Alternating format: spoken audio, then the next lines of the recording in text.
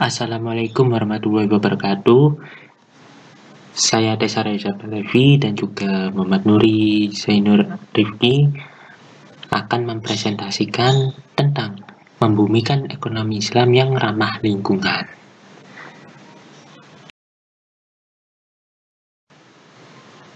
Ilmu ekonomi Islam telah dikembangkan berdasarkan sebuah asumsi yang menyatakan bahwa persoalan ekonomi itu bersifat kompleks atau multidimensional sehingga membutuhkan pendekatan antar disiplin khususnya antar disiplin ilmu-ilmu keagamaan dan ilmu pengetahuan umum. Dengan demikian, maka ilmu ekonomi Islam itu adalah sebuah ilmu ekonomi kelembagaan atau institusional ekonomi Pendekatan tersebut menimbulkan suatu struktur pemikiran tertentu dan aneka aliran pemikiran. Hasil pemikiran yang kompleks dan multidimensional itu menimbulkan tiga kebutuhan. Yang pertama adalah kebutuhan streamlining atau penggaris bawahan. Streamlining atau penggaris bawahan berbagai penemuan yang dinilai paling mendekati kebenaran.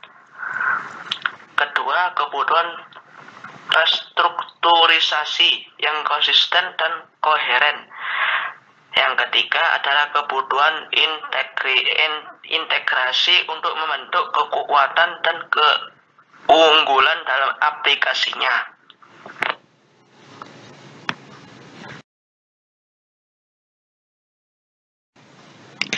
Dasar ekonomi Islam Dalam konteks hukum Islam, khususnya di bidang muamalah atau transaksi keuangan yang dominan adalah konsep-konsep yang bertolak dari hukum larangan riba yang menjadi fokus pembahasan para ulama fikih atau fuqaha. Tapi solusi terhadap masalah riba itu adalah praktek muamalah yang dijalankan oleh Nabi dan para sahabatnya. Khususnya solusi al-qirat yang dijabarkan lebih lanjut menjadi model-model pembiayaan yang lebih khusus yaitu murabahah, mudharabah, dan musyarab, musyarakah yang menjadi produk-produk pelayanan utama perbankan syariah disusul dengan produk-produk baru lainnya dari praktek penerapan hukum syariah di bidang keuangan itu timbul rekaman Data menggambarkan realitas dari ekonomi Islam dalam wujud perkembangan ekonomi keuangan finance ekonomi. Berdasarkan pengalaman itu, pemikiran Islam selanjutnya menghasilkan pengetahuan empiris positif. Dari sini dapat diambil kesimpulan bahwa dalam perkembangannya Ekonomi Islam adalah ilmu normatif yang menjadi ilmu terapan dan selanjutnya setelah dikaji diakui juga sebagai ilmu empiris positif. Ekonomi Islam adalah ekonomi syariah yang tergolong ke dalam kategori ekonomi hukum atau legal economics. Kedua ekonomi Islam adalah pemikiran dan konsep ekonomi yang didasarkan pada nilai-nilai yang ditafsirkan dari ajaran Islam. Nilai-nilai itu tercermin dalam istilah-istilah yang terdapat dalam Al-Quran dan hadis yang ditafsirkan dengan teori ekonomi. Istilah riba misalnya dalam pendekatan ini tidak ditafsirkan sebagai hukum syariah, melainkan nilai yang tercermin dari perilaku ekonomi pada umumnya. Demikian juga istilah zakat dan sodakoh tidak ditafsirkan sebagai hukum ibadah semata, melainkan sebagai nilai yang menjadi pedoman perilaku. Tujuan adanya membangun ilmu ekonomi Islam yang ramah lingkungan. Dalam Al-Quran dijelaskan bahwa manusia diciptakan sebagai khalifah di muka bumi. Kewajiban manusia sebagai khalifah di bumi adalah dengan menjaga dan mengurus bumi dan segala yang ada di dalamnya untuk dikelola sebagaimana mestinya.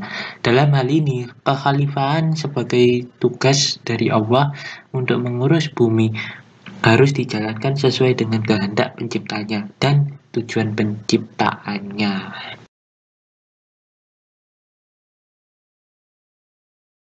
Tujuan Allah mencariatkan hukumnya adalah untuk memelihara kemaslahatan manusia, sekaligus untuk menghindari kerusakan mafsadah baik di dunia maupun di akhirat. Untuk mewujudkan kemaslahatan itulah Abu Al-Ishaq Al-Syatibi dalam kitab Al-Muwafaqat membagi tujuan hukum Islam atau makosid al-syariah menjadi lima hal.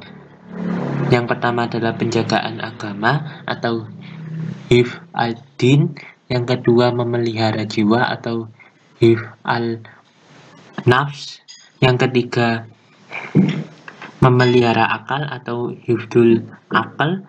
Yang keempat, memelihara keturunan atau hifdul nasl. Dan yang kelima adalah memelihara, memelihara harta benda atau hifdul mal.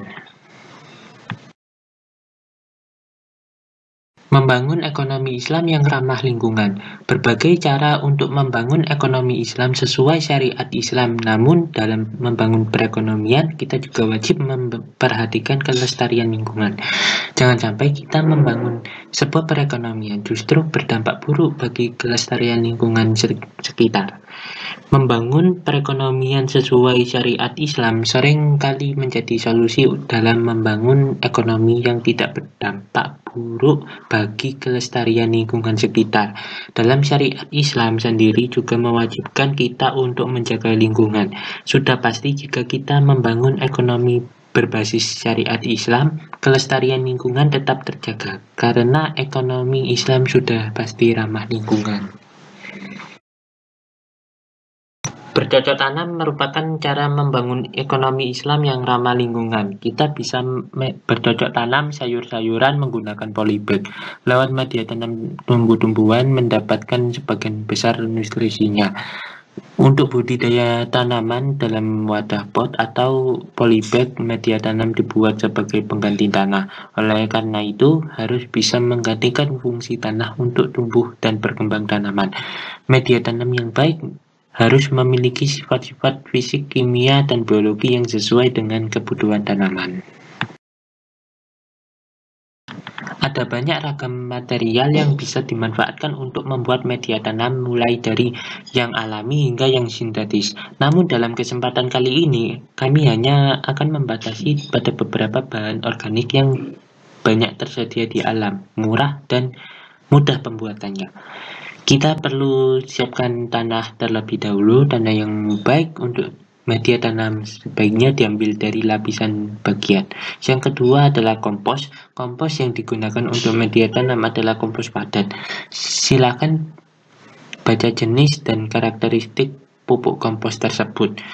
Yang ketiga adalah arang sekam. Arang sekam merupakan hasil pembakaran tak sempurna dari sekam padi.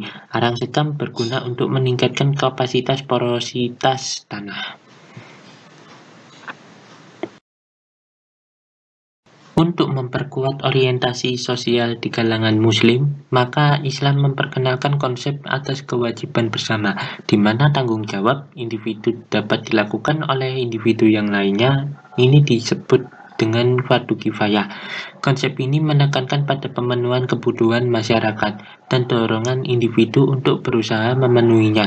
Dengan bercocok tanam dan beternak ikan lele organik akan menciptakan kemandirian pangan dan finansial bagi keluarga muslim sehingga dapat dicapai sebuah kemandirian ekonomi Islam yang halalan toli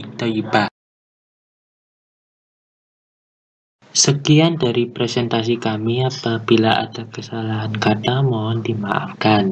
Wabillahi taufiq walhidayah. Wassalamualaikum warahmatullahi wabarakatuh.